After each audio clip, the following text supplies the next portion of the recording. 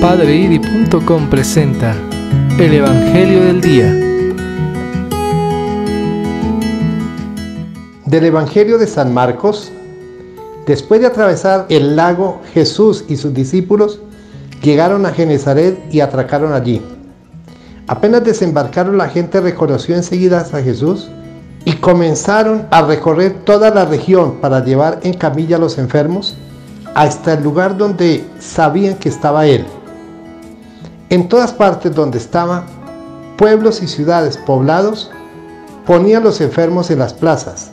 Le rogaba que los tocara tan solo con los flecos de su manto, y los que lo tocaban quedaban sanos. Palabra del Señor. Gloria a ti, Señor Jesús.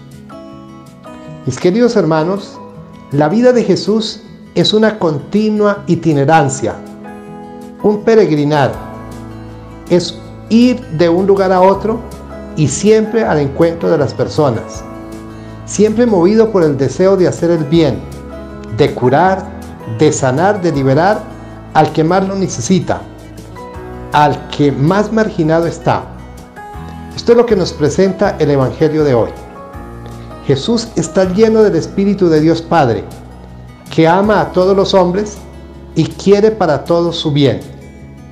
Jesús se pone al alcance de las personas para hacerse tocar por ellas.